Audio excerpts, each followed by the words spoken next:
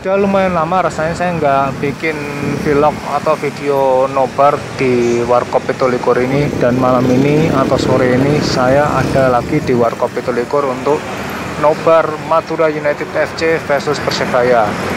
Ini saya datang ke sininya agak telat sih karena tadi saya ke arah Tenggilis dulu baru ke sini. Karena saya ngecek lokasi salah satu lokasi nobar lain yang juga pernah menginfokan ada nobar di sana tapi ternyata nggak ada untuk sore atau malam ini. Jadi akhirnya ya saya ke daerah atau area Warkop Pitulukurin lagi untuk nobar Madura United FC versus Persebaya. Ini sekarang sedang jeda babak pertama ke babak kedua dan mungkin sekitar lima menit lagi lah ya kurang lebihnya. Uh, babak kedua akan dimulai info yang saya dapat dari Google uh, ini untuk babak pertama ini sementara Persebaya unggul 0-1 dari Madura United FC lewat gol yang dicetak oleh David Da Silva pada menit ke-15 untuk sementara ini sepertinya uh, jumlah pengunjung suasana nonton bareng sore atau malam ini nggak terlalu rame sih memang jumlah yang datang masih cukup banyak tapi sepertinya suasananya nggak terlalu rame. Tapi nggak tahu lagi nanti kalau babak kedua sudah dimulai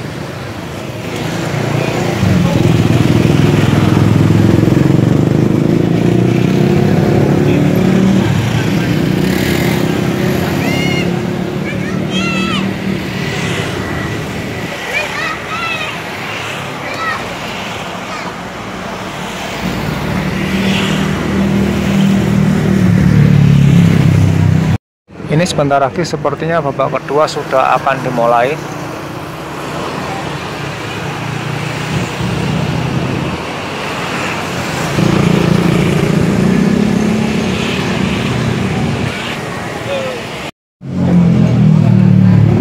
Ini babak kedua baru dimulai sekitar 7 menit dan tadi di awal-awal babak kedua sudah ada satu peluang yang cukup bagus dari Persebaya dan satu pelanggaran cukup keras dari Madura pemain yang ditutup eh, tidak bersatu begitu ya. Jadi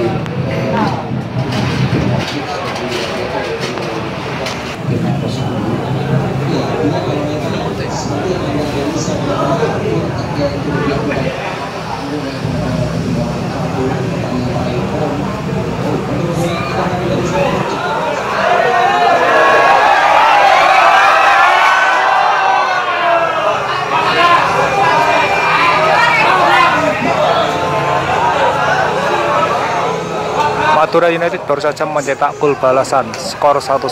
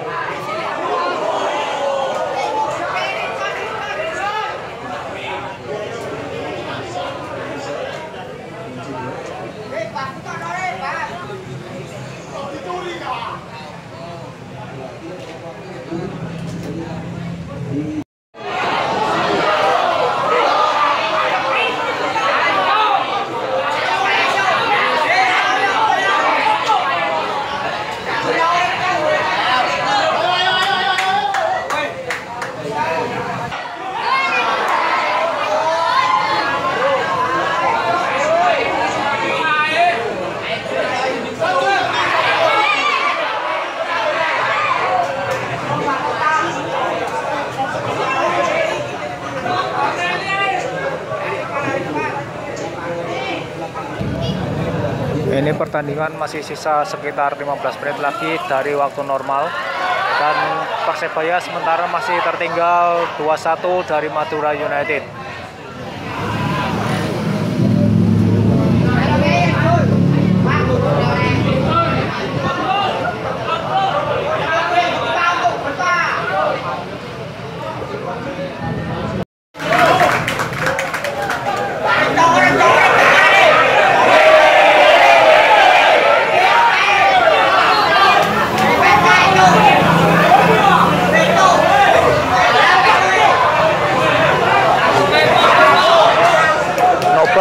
Persebaya bareng bonek itu selalu seru sih nobar bareng-bareng ini.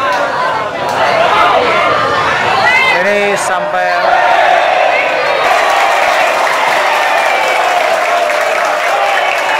pertandingan memasuki menit ke 80 dan salah satu pemain Madura United terkena kartu merah. Persebaya harusnya diuntungkan deh dengan adanya kartu merah ke pemain Madura United.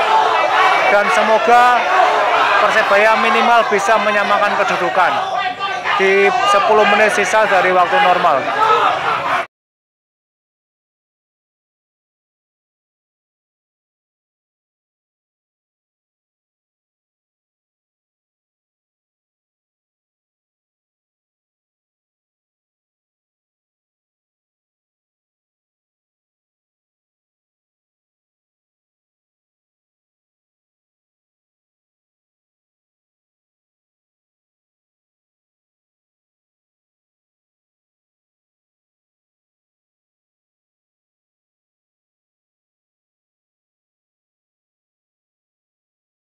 Akhirnya Persebaya menyamakan kedudukan, skor 2 sama.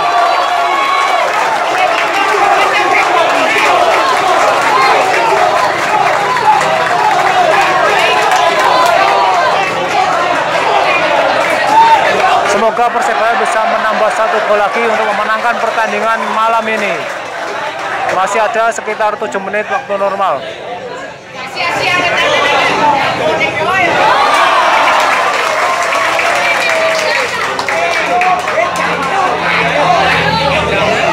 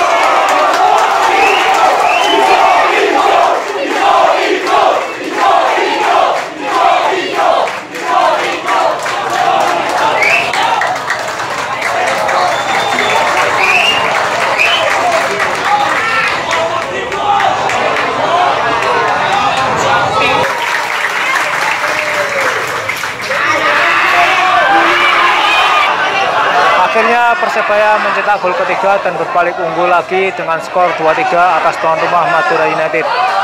Sekarang pertandingan memasuki menit ke-89.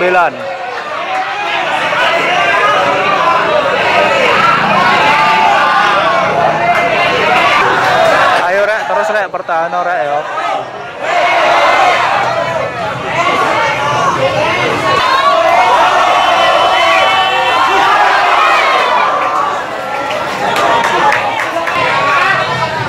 nobar malam ini semakin seru dan panas menjelang akhir pertandingan.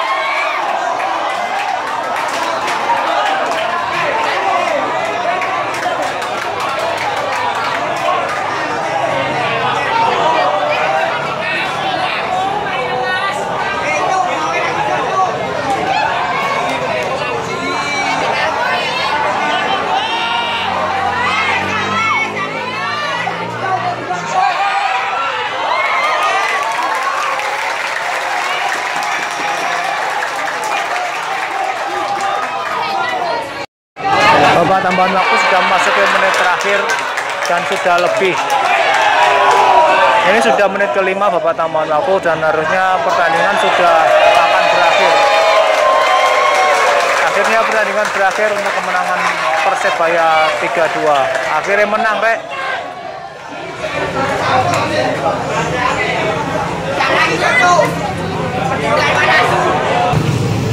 dengan berakhirnya pertandingan maka selesai sudah nobar malam ini antara di pertandingan antara Madura United FC melawan Persebaya Surabaya.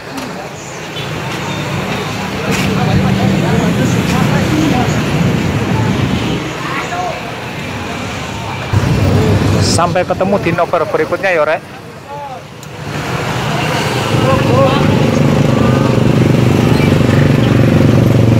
Ojo lali untuk subscribe. Jangan lupa di komen, like, dan share juga ya.